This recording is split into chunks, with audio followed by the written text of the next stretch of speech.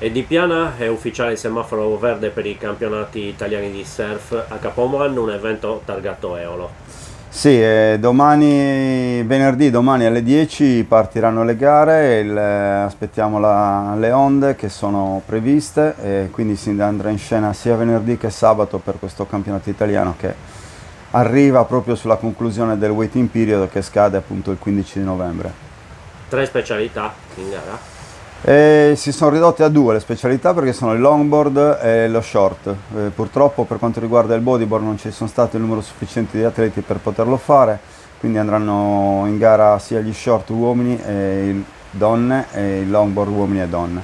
Comunque con una platea di partecipanti molto molto importante. Sì, ci sono tutti i migliori atleti italiani, ci sono un tabellone da 32 completo per quanto riguarda lo short maschile e un buon numero sia per il long eh, femminile che con quello, quello maschile, quindi insomma un, ci saranno delle belle gare. Le condizioni soprattutto da sabato sembrano essere quelle ideali. Sabato potrebbe essere la giornata migliore per quanto riguarda le onde, purtroppo abbiamo dovuto attendere fino all'ultimo l'arrivo del mestrale che comunque non è arrivato perché queste correnti da sud-ovest hanno caratterizzato tutto questo mese di, di waiting period, quindi abbiamo atteso, atteso, ma ormai dovevamo portare avanti la gara. Eolo ha un suo portacolori e ora un suo portacolori che è Joao, che è un ragazzo italo-brasiliano che ci aveva chiesto appunto di essere testato con noi, noi con molto piacere l'abbiamo accolto e speriamo che abbia, porti a casa anche un buon risultato perché insomma è molto bravo, determinato e ci piace molto.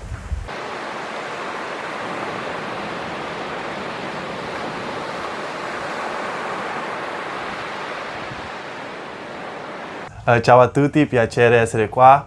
Uh, Prima uh, Leolo hanno, mi hanno dato un'opportunità molto grande di rappresentare loro e sono molto felice con questa opportunità e forse credo che abbiamo buone, una buona opportunità di vincere questa gara e è un piacere e un grande onore di rappresentare loro.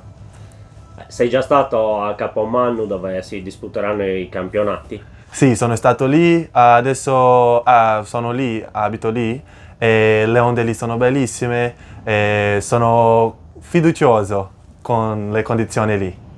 Chi pensi che saranno i tuoi avversari? Chi sono i più forti? Mm, non so, ci sono buoni ragazzi lì, eh, anche i ragazzi che sono nel circuito mondiale con me, gli altri italiani come Edoardo, Francesco, Brando, Matteo.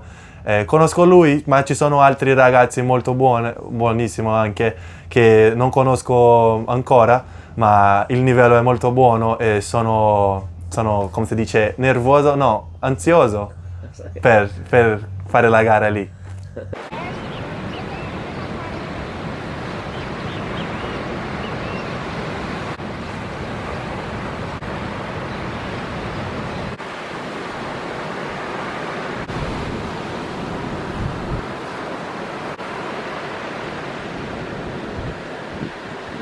Domani sembra buono, ma un po' più piccolo e sabato sarà un po' più grande, ma ci sarà, ci sarà molto vento anche.